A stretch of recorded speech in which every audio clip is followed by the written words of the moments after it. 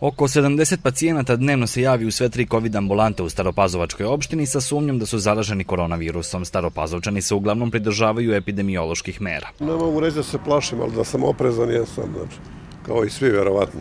Nije nikom sve jedno. A da se nešto plašim, plašim se, ajde. Znači maska svuda? Svuda. Štitim se, da.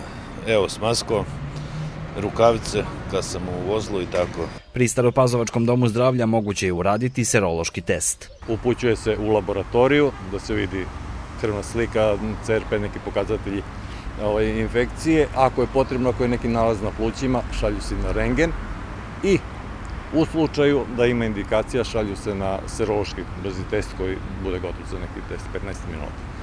E, tim testom se određuje e, nivo antitela. Znači, ako je neko bio u kontaktu sa virusom korone, da li ima? On, on će da, da razvije antitela i prema tome koja vrsta antitela se pojavljuje, možemo da, da procenimo da li je bolest u početnoj fazi ili u nekoj dalje razvijenoj ili u rekonvalescenciji. Epidemiolozi su jasni kada je u pitanju nošenje maski i u zatvorenom i u otvorenom prostoru.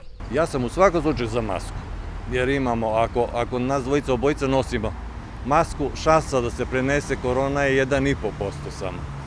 Ako jedan nosi, to je onda 50, odnosno 70%. I u Staropazovačkoj opštini zabeleženi su smrtni slučajevi od posledica zaraze koronavirusom. Među obolelima ima i dece, a poslednjih dana beleži se blagi pad broja pacijenata koji se javljaju sa sumnjom da su zaraženi.